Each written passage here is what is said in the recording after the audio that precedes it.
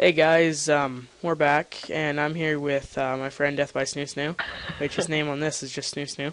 Um, we're gonna be showing you what? What?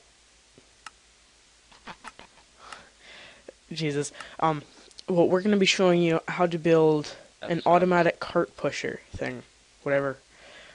Um, well, first, okay, are you gonna de- demonstrate it or something? Get in the cart. No, you have to. Yep, someone has to be in the cart. Here, let me get in the cart. See, I pushed it, then he pushed the button. I gotta turn my that down because I'm lagging. Yeah, well, I'm hosting the server, so yeah, I always lag. Um, yeah, so we're going to be showing you how to make one of these. What you'll need is some any kind of block. I just use yellow wool. You'll need some redstone, you'll need a button, you'll need a powered rail, and a normal rail. I've already made one right there, just to, just for an example.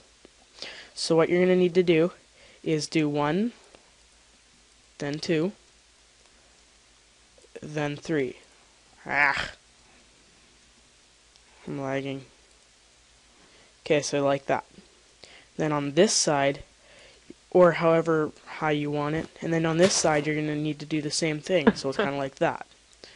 First of all, you need to put powered rails like that.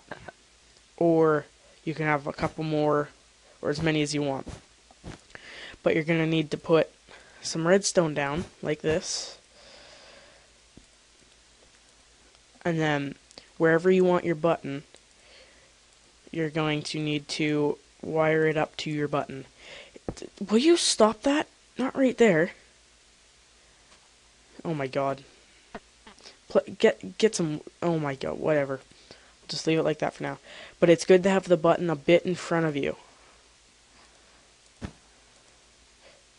Because it's just a bit easier that way. Maybe that that might be a bit too far. Okay, I'm so he's sorry. got he's got the button. Move it up a little bit, maybe. Ah, fine.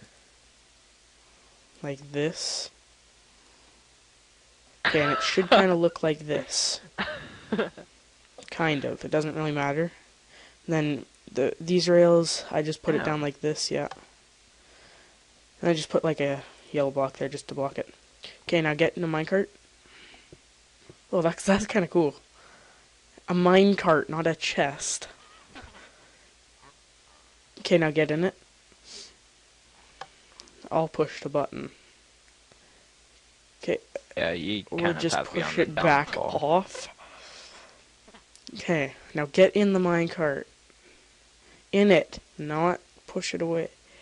Okay, then you just press the button, and it should have pushed them down. See how it pauses there? Push it, and it doesn't do anything.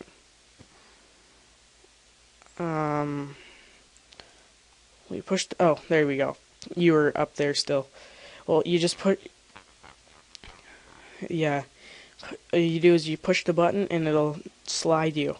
But the reason it doesn't slide you when these these rails aren't powered is because they're dead, and nothing will move on a power on a rail on a powered rail when it's dead. So this has just been uh, a little a little video on how to make a, an automatic cart pusher thing. So, yeah. See you later, guys.